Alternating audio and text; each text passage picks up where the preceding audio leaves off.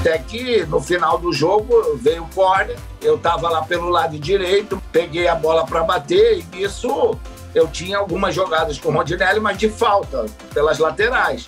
Não de escanteio, que eu raramente bati escanteio. Então, quando eu vi